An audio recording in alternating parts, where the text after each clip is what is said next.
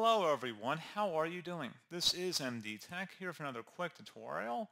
In today's tutorial, I'm going to show you guys how to resolve printer driver error 0x000005B3. Operation could not be completed. Error 0x000005B3.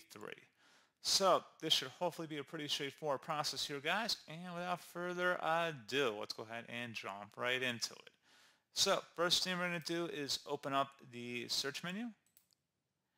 And you want to type in troubleshoot. Best match. We'll come back with troubleshoot settings. Go ahead and open that up. Underneath options, select other troubleshooters. And then underneath most frequent, select the printer troubleshooter and the corresponding run button.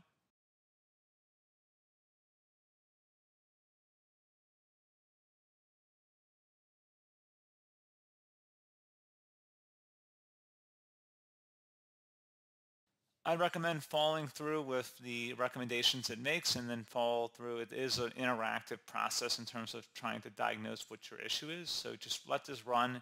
It will ask you a couple questions as it goes and it will reset the print spooler or that sort of stuff. And then hopefully that would resolve the problem. Once that is done, something else you can try here too if you're still having a problem. So you would have to get permissions for this to run. And then, like I said, it would give you some suggestions to follow along with here.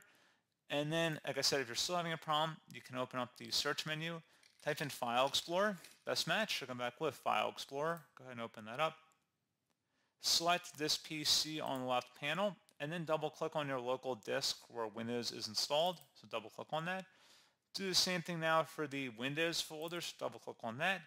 Go down to System 32 and double click on that as well should be a spool folder in here. Just click on a random folder and just start typing spool and it should get you down there a little bit quicker. So go ahead and double click on that. Should be a drivers folder right in here. Right click on that and select properties.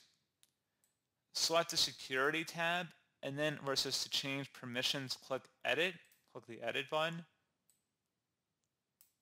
Says full control, check mark where it says allow and then select apply, yes, continue, and then you should be good in here. If you go back and check out properties, should be set to full control, select OK. And then like I said, hopefully your issue should have been resolved at that point.